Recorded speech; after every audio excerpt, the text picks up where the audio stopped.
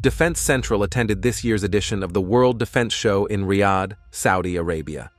Hosted by Saudi Arabia's General Authority for Military Industries, this year's edition of the World Defense Show welcomed over 100,000 visitors and featured 773 exhibitors from 116 countries.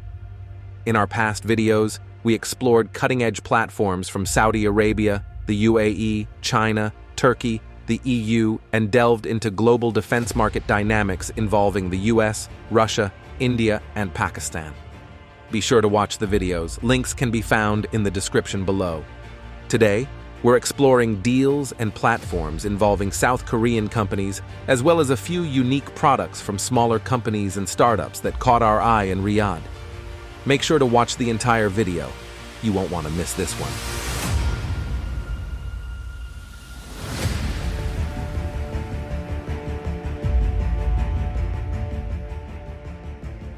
At the World Defense Show this year, South Korean defense companies, including LIG Nex 1, Hyundai Rotem, and Hanwha Group, played a significant role by introducing new platforms and showcasing existing ones.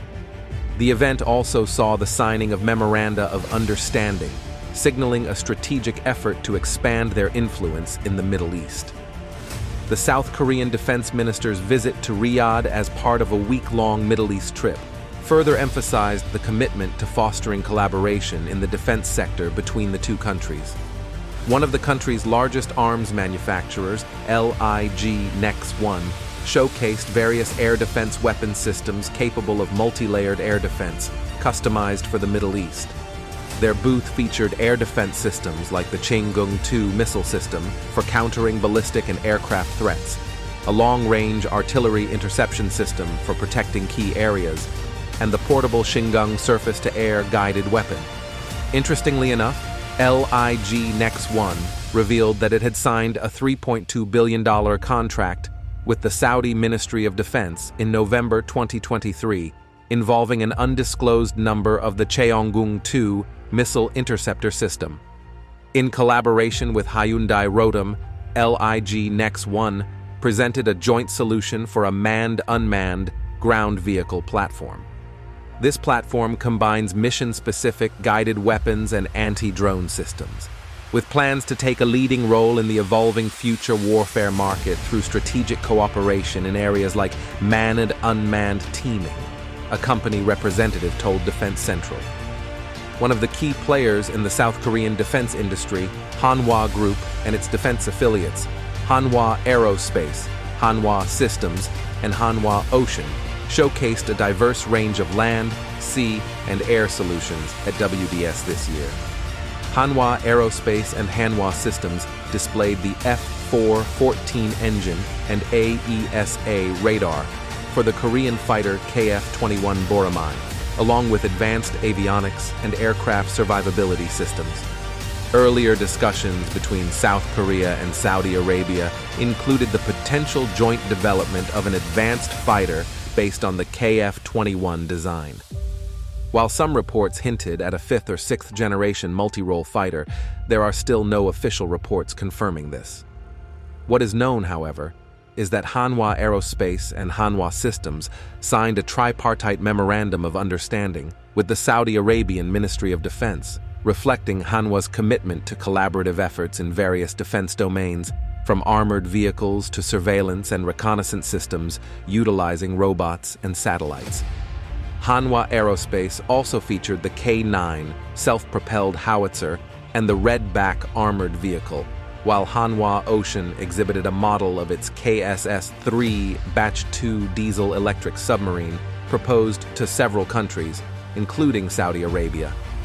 Now shifting our focus, let's explore some noteworthy platforms that captured our attention at WDS 2024.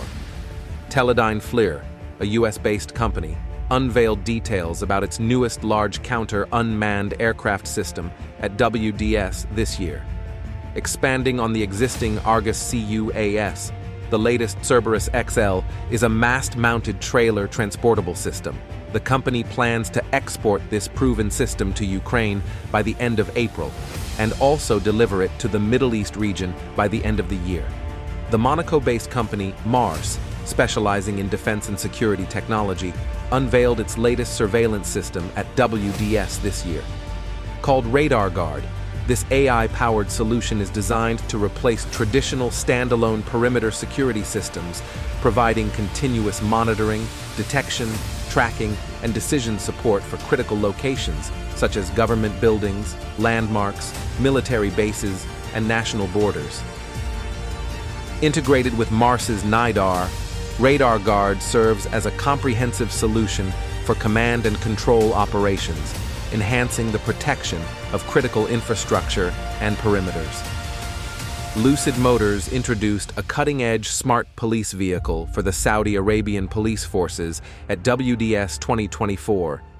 Aligned with the Saudi 2030 initiative, this electric vehicle represents a significant step in modernizing the kingdom's police forces. The cruiser features a large siren, police markings, and the Saudi Arabia General Directorate of Public Security logo. However, what makes this vehicle special is the compartment opening from the top of the cruiser's abnormally large siren that can house an unmanned aerial vehicle. With around 61% ownership by Saudi Arabia's Public Investment Fund, Lucid Motors continues to contribute to the country's automotive landscape, delivering the Lucid Air and securing a fleet deal for 100,000 EVs over 10 years. So, what do you think? Let's discuss in the comments below. And if you enjoyed this video, make sure to give it a thumbs up and subscribe to our channel for more exciting content coming up soon.